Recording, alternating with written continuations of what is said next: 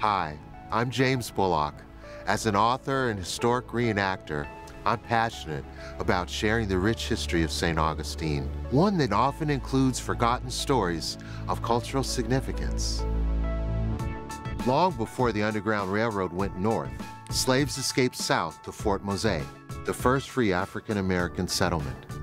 They later marched as part of a militia that handed the British an important defeat. 200 years later, a different march took place here in the summer of 1964.